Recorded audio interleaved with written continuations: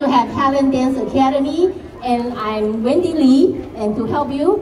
And let's give a big shout out of the San Francisco OEWD from the city and San Francisco Chinatown Merchant Asso Association for the invitation.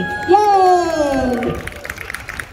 All right, uh, as you can see, this is our twins, and they are going to do the ribbon dance, and it's along the Silk Road.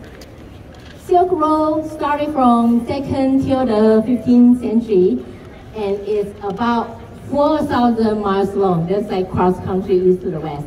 And it actually, yes, play a very significant role in the interactions in between the east and the west.